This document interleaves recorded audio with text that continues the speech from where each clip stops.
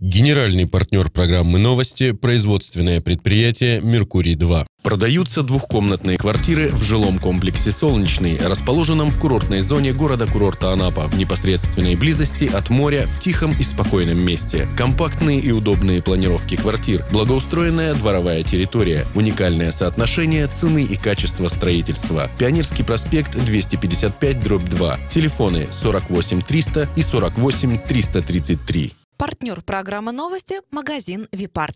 Нам, женщинам, надо так мало для счастья. Теплое слово, ласковый взгляд и новое платье. Модная верхняя, деловая и вечерняя женская одежда в магазине «Випарт». Теперь мы по новому адресу. Анапа, торгово-развлекательный центр «Алиса», первый этаж. «Випарт» – клуб настоящих модниц.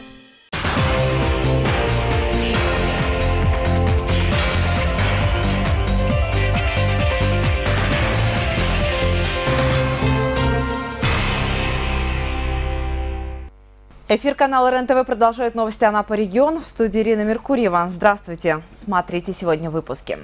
С 15 по 18 января в Анапе пройдет выставка продажи изделий из меха. 14 января – Старый Новый год. Новый год по старому стилю празднуют в нескольких странах.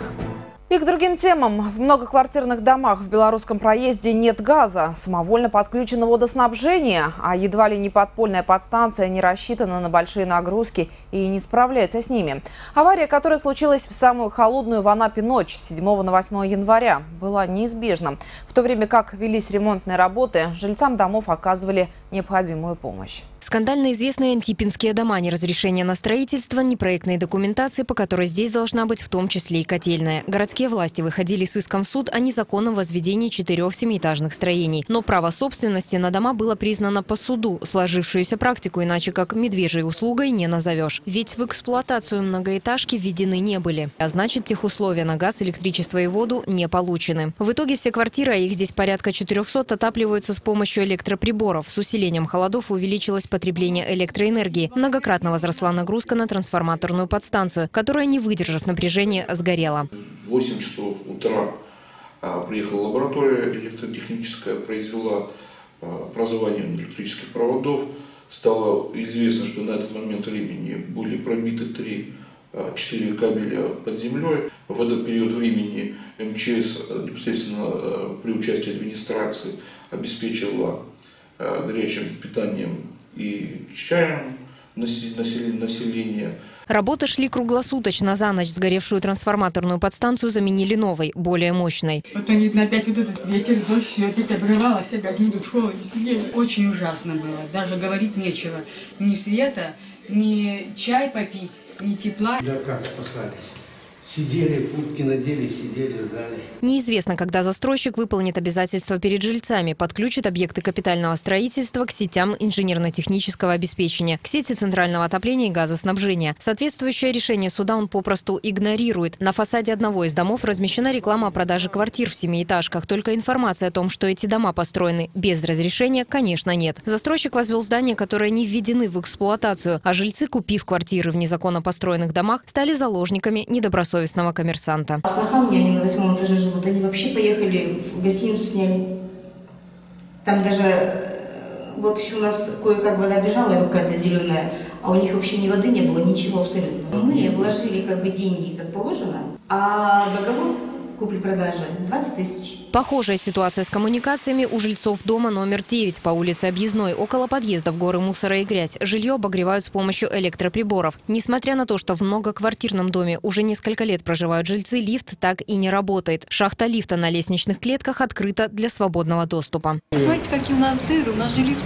И если хотя бы хотя бы заделывать сейчас, 2-3 дня вот этот ветер, дождик, естественно, что ветер колыхает вот это холодно в квартире. Специалисты управления муниципального контроля выявляют незаконно возведенное строение, готовят документы для передачи в суд. Списки самостроев находятся в открытом доступе на официальном сайте администрации курорта. Когда речь идет о приобретении жилья, на случай и русский авось полагаться не стоит. Покупатели квартир в самовольно построенных домах рискуют остаться без денег и квартир. Почти достроенные и достроенные самострои подлежат сносу. В домах на Белорусском проезде 8 порядка 56 квартир еще продаются. Жителей и гостей курорта предупреждают не покупать жилье в этих домах. Наличие у застройщика права собственности на здание может быть признано по суду, но это еще не гарантия подключения к сетям инженерно-технического обеспечения. Покупая жилье, ознакомьтесь с документами на строение, а также уточните информацию о строениях в местных органах самоуправления.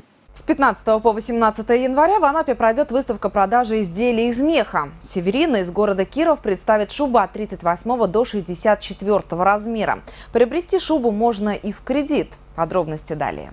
Доступные цены, отличное качество, гарантия производителя. И все это только сейчас и только для самых прекрасных женщин на свете. Порадовать наших модниц новинками сезона приехала меховая выставка продажи «Северина» из города Киров, которой в этом году был вручен диплом «Торговая марка года». Шубы от классического до современного дизайна из норки, бобра, овчины, каракуля, нутри, андатри и орелага. Всего более полутора тысяч готовых изделий из меха на любой вкус и фасон ждут вас. Размерный ряд от 38 до 64 возможность приобрести шубу в кредит. Широчайший модельный ряд. Но чем не повод порадовать себя любимых? Эта модель мне понравилась очень хорошо. А почему? А чем понравилась? Интересный покрой. Смотрите. Можно вот так. Рукав интересный тоже.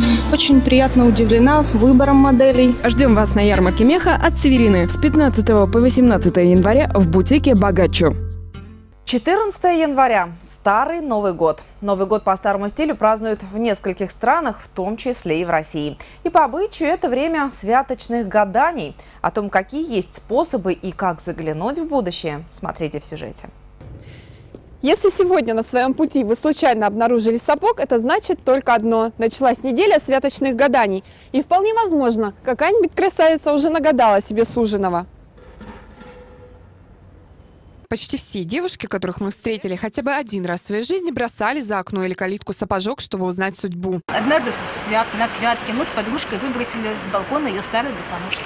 Один из них утащила собака, а второй на помойку попал. Новогодняя ночь, особенно по старому стилю, всегда наделялась магической силой. Традиционные веселые колядки и песни раздавались всю ночь. При свечах красавица в зеркальном коридоре старается увидеть будущего возлюбленного и свою судьбу. Народных гаданий множество. На кофейной гуще, на зеркале, спичках и даже на лай собаки. Например, можно положить чашу с водой разные предметы и вытягивать закрытыми глазами. Если вытянуть обручальное кольцо, быть скорой свадьбе. Самое распространенное гадание на обручальном кольце. В него можно продеть волос и опустить стакан с водой.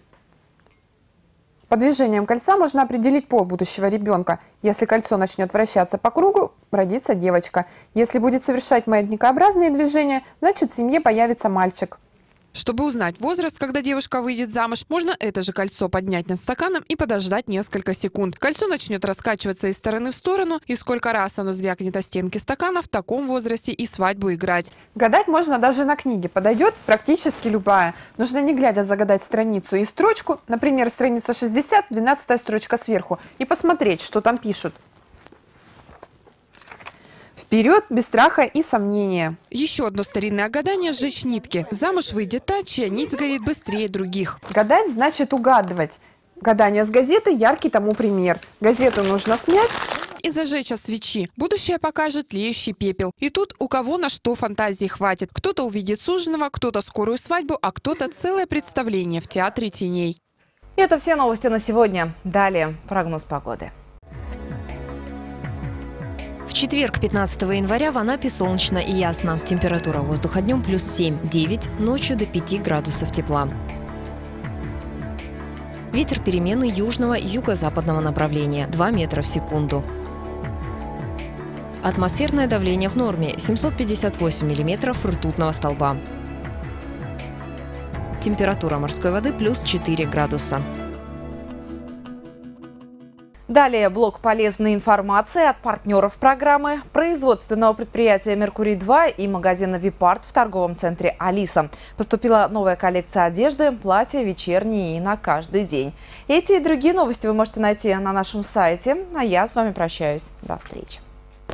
Генеральный партнер программы «Новости» – производственное предприятие «Меркурий-2». Продаются двухкомнатные квартиры в жилом комплексе «Солнечный», расположенном в курортной зоне города-курорта Анапа, в непосредственной близости от моря, в тихом и спокойном месте. Компактные и удобные планировки квартир, благоустроенная дворовая территория, уникальное соотношение цены и качества строительства. Пионерский проспект 255 дробь 2. Телефоны 48 300 и 48 333. Партнер программы новости – магазин «Випарт». Нам, женщинам, надо так мало для счастья. Теплое слово, ласковый взгляд и новое платье. Модная верхняя, деловая и вечерняя женская одежда в магазине «Випарт». Теперь мы по новому адресу. Анапа, торгово-развлекательный центр «Алиса», первый этаж. «Випарт» – клуб настоящих модниц.